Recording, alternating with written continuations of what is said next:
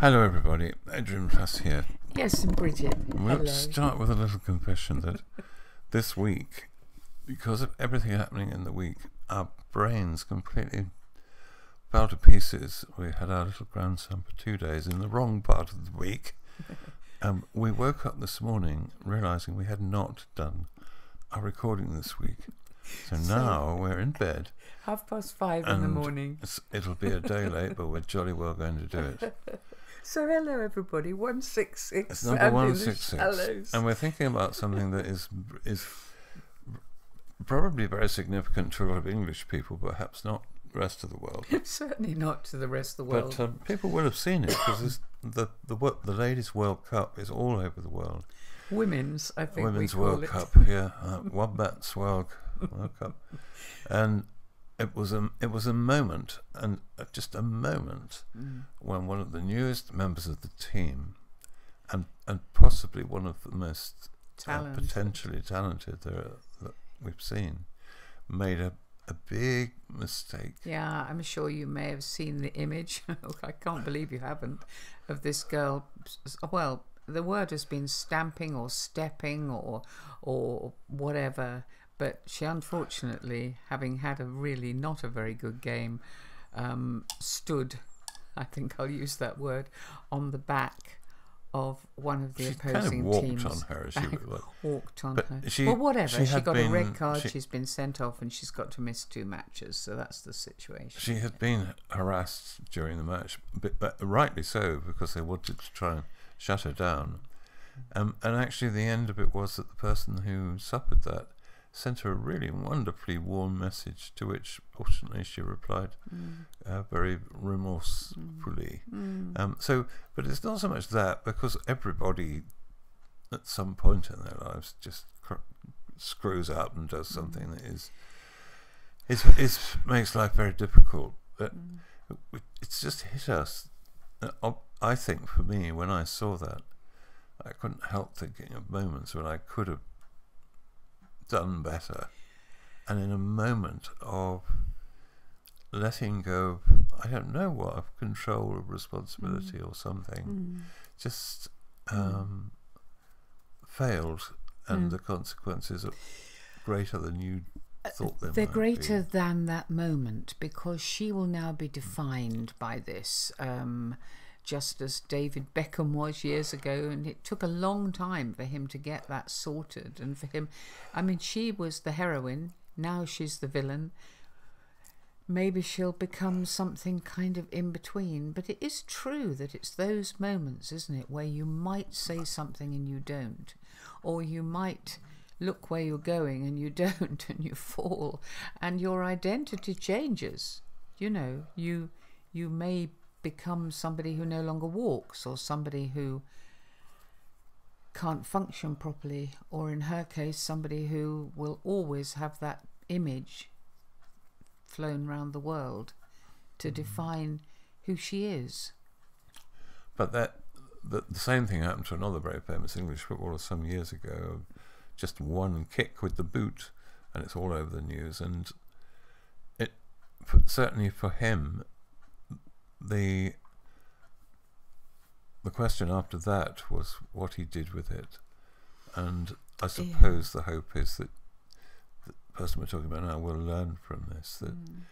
there are moments when if you let go, it well actually it could either be disaster or something wonderful. Mm. If you are explosively spontaneous, it's not necessarily going to result in no something bad. I mean, it's interesting you're saying what what do you do with it? I mean, her uh, opposing member of the team who was stood on did the right thing immediately.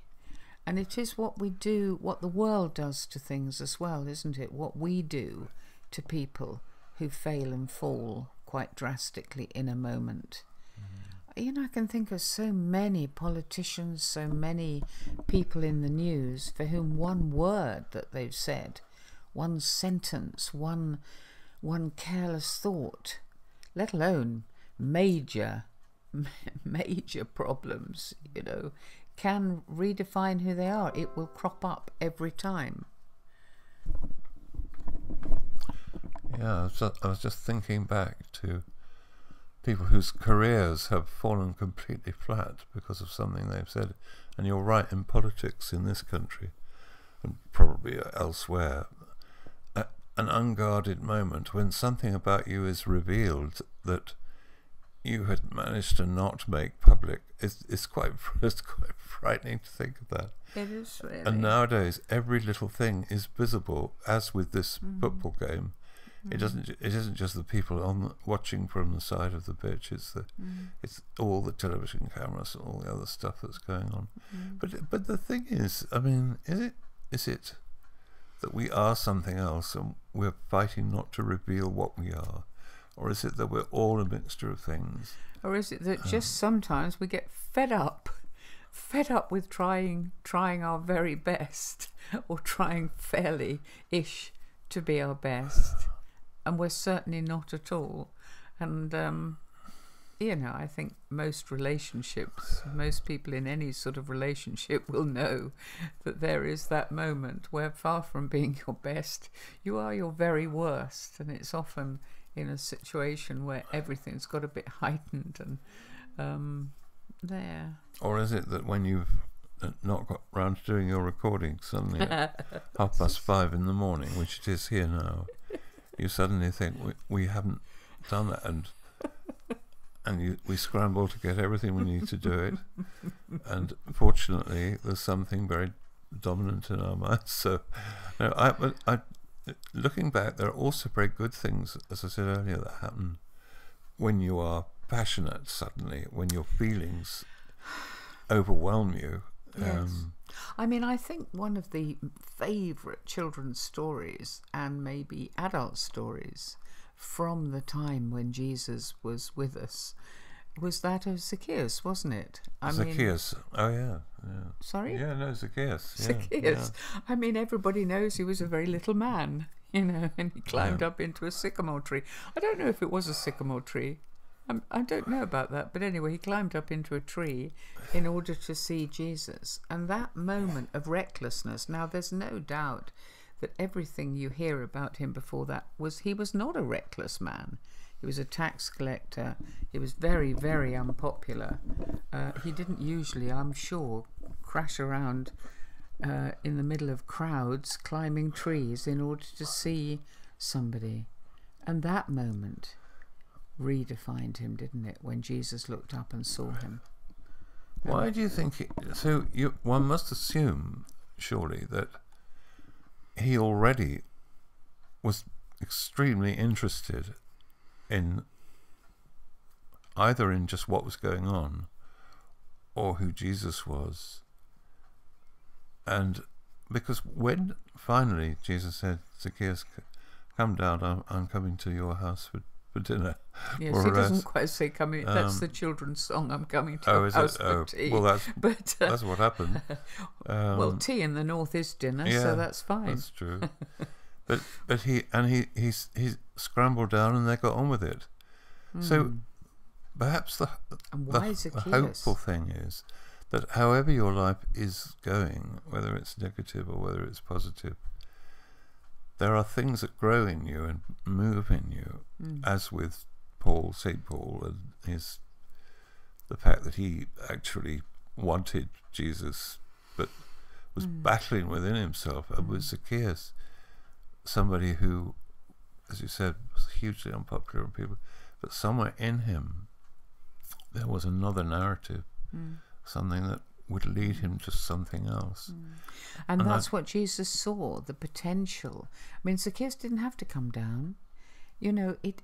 There is a moment where there is a chance, isn't there? And maybe this girl writing, you know, writing to the person who stood on her, Mm. will give give both of them a really big chance to move on from that moment. Um, I mean, why Zacchaeus? What was so important to Jesus? And I think the answer has to be it applies to all of us. You know, that that was the way Jesus was, and that's the way we're supposed to be. That you look at somebody who everybody can't stand, and you think, what is there? What is that something that's still there in that person that may be brought alive by a very generous, special moment. Being noticed. Being noticed and also just being Yeah. liked, being Yeah. being wanted to be with. I mean, he wanted to be with him. He didn't just call him down and say, uh, you know, you, your life could change. He wanted to be with him, spend time with him publicly.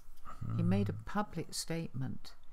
And I think sometimes, even though we might feel sad that somebody we know has has done something and become very unpopular, and we might want to make a statement about it, us or say something, but to be with them, to be their friend, to be hmm. publicly connected, is a slightly different challenge, isn't it? It is. I, I was trying to think as you were saying that. that- I mean, as far as one knows, Jesus was operating on orders. You know, there were people to be to be touched, to be met. To Well, orders. Well, he he only did what he saw his father doing. That was his that was his mode. I was just thinking It's how complex, isn't it? but how encouraging it could be though for people he was he was God. for So- people who oh, well I'm not going to into the metaphysics of that for the moment, but yes, but the um, Not till we've had a cup of tea. no the um, th- there'll be a lot of people, and I'm sort of sure I've been one of them at one time or another, where you feel that the direction you've taken and the place you've arrived at are, are not what you ever wanted, really. Mm. Something in you says, I could have done better than this. Mm. But you're wrestling with it, but not Mm. as much as you were. And the idea that suddenly someone in authority, someone who has the, the right and the means of saying, you can be released from this, says a few It's words. not the same as saying few- it's not your fault, is it? It's a it's saying we know you've let yourself down. We know it's not the best. Yeah. It's it's a discovery. I remember years ago a man who was supposed to know, hear from God, and I think he probably did because he. I used to avoid him because I thought he'd say something about me, but I remember him saying, "God, God isn't interested in what you're doing. He's interested in what you're going to become." Right. and I'd forgotten that for year, for year actually till just recently I remembered it. Um, and if you could grasp that and believe it, that you are not stuck in what you are, you are not stuck in where you're going. That's a very interesting challenge, isn't it? Because I'm thinking the person we've been talking about is very, very young with a whole life ahead of her. But what about when you when you get much, much older? Do you still think there's something ahead that could be more what what were the words you said? Your life what did you just say about the person the fellow who said, he you? said it's not about what you're doing, it's what you're going to become. it's what you're going to become. Yeah. Well, do you think sometimes we lose sight of the fact that we can still become much more, even even though we don't have another whole life ahead of us? We do, in a way. We have a whole life of today and tomorrow and next week, and and t- you know, I think it's something to do with permission. If I look back at my own life, it's the feeling that, um, in some way, some circumstance or person or um, or, moments coming together has said to me, "It's okay. You you can be the person you want to be, and not be cancelled out by everything you've been." hmm, And we talk loosely in the Christian Church about repentance and all Mm. this, you know, the technical stuff. But I think that's what we're talking Mm. about. That a m- moment comes when you can you can not exactly move forward, but accept that you you've made what you've become or what you think you are so dominant in your life Mm. that you think there is nothing that can change it, and then you're sitting up in a tree and watching this man going past with like with Zacchaeus, and you think, I wish I, I wish something would happen for me. And suddenly, against all the odds, the mm, whole crowd there, this person stops, looks up at you, And as he looks at you, you see knows you. I know it is he says- extraordinary, really. He says, Zacchaeus, come down. yeah, And he comes to your house. Yeah. And suddenly your life has changed in a way that you never expected. yeah, And it's almost like a magic trick. but it's permission from. yeah. We don't talk about that as a miracle, do we? But it is. You said it's like a, ma- but it, those are the those are the miracles open for all of us, aren't they? Really. Um, and the response of of this person on the Nigerian team might well be one of the most important defining moments, not just the image that for for her, not just the image that's going across all the front sports pages for a day or two and then will pop up again every now and then. That message of, of kindness and forgiveness and mm. and and understanding. I mean that's that's in a way what all of us can do, isn't it? what the, the forgiving and understanding well, bit. not necessarily forgiving because it may not have happened to us, but just an understanding that it could happen to any of us, that all of us actually know within ourselves that there comes a moment when, far from being a heroine or a hero or, mm. or anything very special, you're very unspecial for a moment. Yeah, yeah. I, I'm very impressed by what was said. You know, this person who was so warm and forgiving and all that. About the choice you make about something like that, because Mm. somebody else could have said, "This is one of the worst things that ever happened." You know, I I don't know how you you could think you could represent your country when you all blah blah blah. Oh, and there stuff. will be people saying that. I'm sure there will, but to have a perspective that says, I need to lean back, sit back, and say, What has happened to me has made me feel like this? What will I do with this? Mm.